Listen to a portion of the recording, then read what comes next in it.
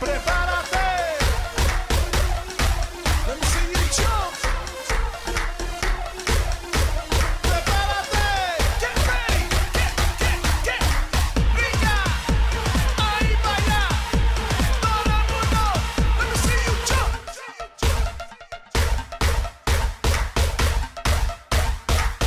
Everyone, welcome back to my channel. I'm Jessica and today I have my April whichever number update. No, this is March. This is March. It's not April yet. I have my March update for Oldie But Goodie Project Pan. It is a small-ish collab and um, this was created by my girl Amanda and I'm loving this. I am loving this so much. It is all like oldies songs.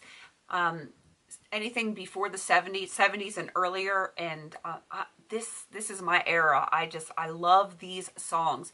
And um we had to pick 10 songs and match products to them and then of course pan them. So yeah i um i'm loving this so much. It started november 26th and ends may 26th i had to look at my spreadsheet to see when it ended.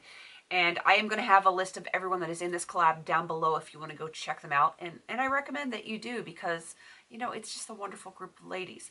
Um, all right, so I have an empty. I have an empty. I have for one of my all-time favorite songs, Elton John's Goodbye Yellow Brick Road. I picked it obviously because of the yellow little swoosh in the cap. And um, this was the Volumizing Dry Shampoo by Tresemme.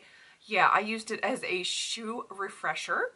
And um, I I will probably always use any dry shampoo that I get as a shoe refresher now. And I, I'm so thankful that I have such wonderful people that suggest things to me. And this is why I love the panning community because I would have never thought to use a dry shampoo to refresh my shoes. Even though I use powder and this is like basically canned powder, like I my brain just didn't work that way, I guess. And um this is how I used it. And um, I'm so thankful. I've noticed other people um, that saw my video with the other dry shampoo that I finished up are now going to try using it in their shoes too. I guess I'm not the only one that really isn't a dry shampoo person. So when I get these in sub boxes and stuff, I guess that's what's going to happen with them. All right, so I'm happy to have that done. I have now finished 7 of 10 products. I finished um, Rose Radiance by Bare Minerals for the Rose Bette Midler. I finished um, the Urban Decay All Nighter Setting Spray for I Drove All Night by Roy Orbison. I finished the Travel Size St. Ives Apricot Scrub for Traveling Man Ricky Nelson. Uh, let's see, the Peter Thomas Roth Hungarian Thermal Water Mask for Bridge Over Troubled Water by Simon and Garfunkel. I finished the Bath & Body Works Sea Island Cotton Shower Gel for Fools Rush In by Elvis Presley. And I have finished the Royal Locks Dream Cream for Suspicious Minds by Elvis Presley. I have three left. Three left. And one of them is going to be done soon. I'm going to show you that one first. This is for I Will Survive by Gloria Gaynor. And this is the Kat Von D Lock It Concealer because Gloria, you should have changed that stupid lock. You really should have. So this is what I have left.